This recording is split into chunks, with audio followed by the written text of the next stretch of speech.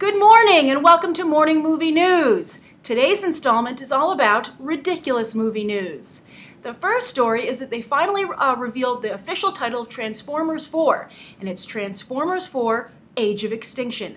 And they also revealed the first poster, which is basically the logo that we've already been seeing, but it's in the sand with the sand blowing away and revealing the logo. And everyone went, it's like an archaeological dig. Where's that connection come from? Well, everybody's very excited about the semi-rumors, semi-already confirmed fact that Dinobots will be joining the franchise for this fourth installment.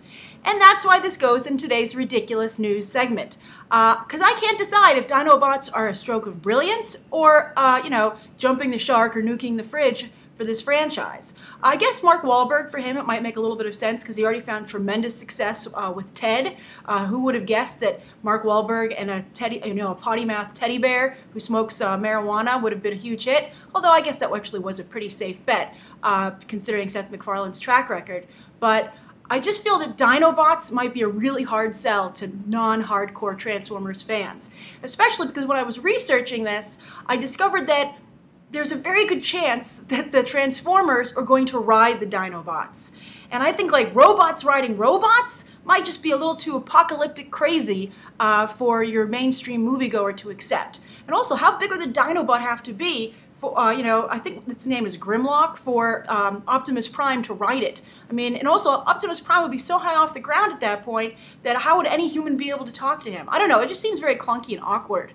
Um, it just, I don't know. That, that, to be fair though, I have never seen the Dinobots in action. I'm not a Transformers fan. I've seen all the films, but I've never really watched uh, any of the animated series versions or something or stuff like that, or uh, you know, played with the toys. So I, I, I have to admit, Dinobots are foreign to me, so maybe I'm missing the awesome angle here. And you know, Steven Spielberg produces the Transformers films, so I guess he was like, what if we combined Transformers and Jurassic Park? Huh? I mean, that's a pretty good pitch in the room, but I think that when you start to visualize it, uh, you really might be like, I think you might be going too far here. But we'll see. Uh, what do you guys think? I'm interested to know if you're a Transformers hardcore fan. Are you super excited about Dinobots? And if you're not a hardcore Transformers fan, do you think that, you know, considering this franchise is already on the edge of ridiculousness already, can you really support, uh, you know, this, this kind of development? Can you get behind it? So that's the first ridiculous news story of the day.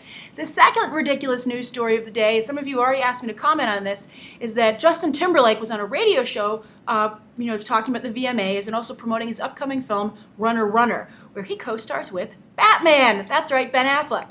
So they were asking him, and obviously Justin Timberlake was very gracious, and he supported Ben Affleck and said, I think he'll be great.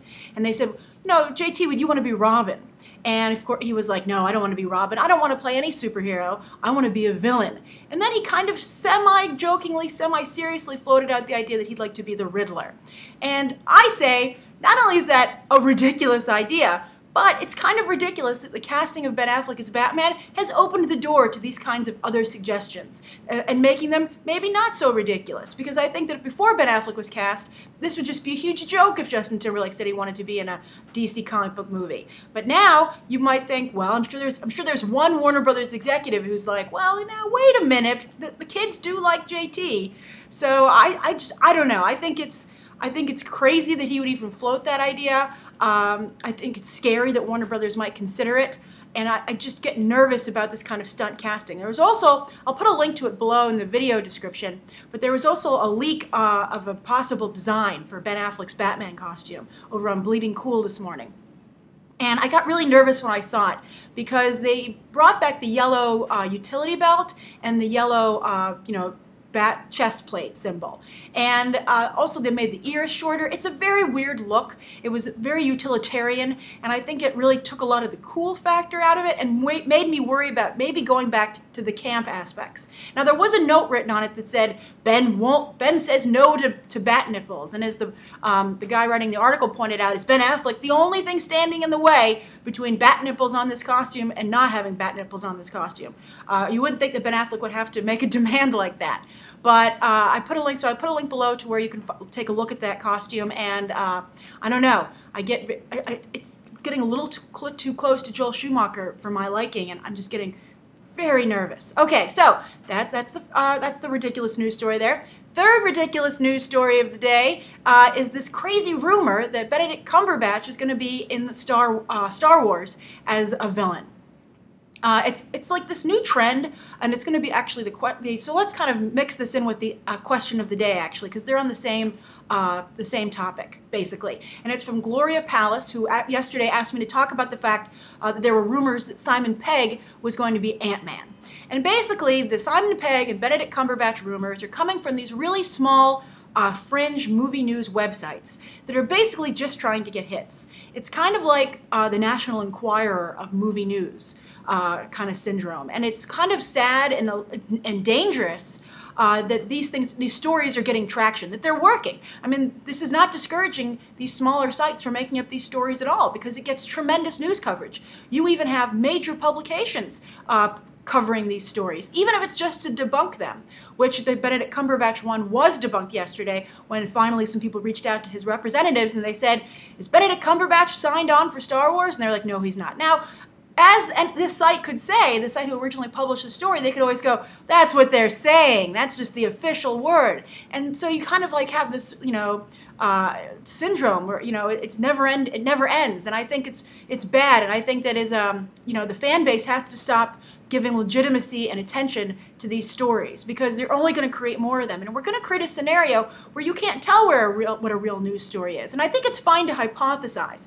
I think the site would have been better off saying, wouldn't it be great if Benedict Cumberbatch was cast in the Star Wars film? I think that would have been a much better idea instead of trying to create this conspiracy theory that it's a hidden fact, that just they haven't released it yet, because they, they basically, the story for Cumberbatch came off of the idea that he dropped out of the Del Toro Crimson Peak film. So they were like, why would he do that? I know, he's going to be in Star Wars. And then the Simon Pegg one came from the fact that he was visiting the Marvel headquarters, which, by the way, I used to work at Marvel, and they have celebrities come in there all the time, and none of them usually are working on a Marvel project.